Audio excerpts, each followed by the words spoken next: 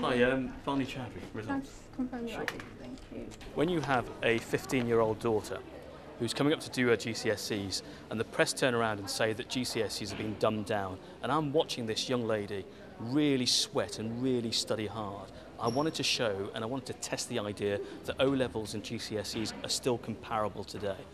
Uh, it turned out to be quite a, a big challenge for me. Oh my goodness. Oh my goodness. I told you you could do it. Oh my goodness. Well done. Oh, I was uh, absolutely gobsmacked. I mean, she did well. She did really, really well.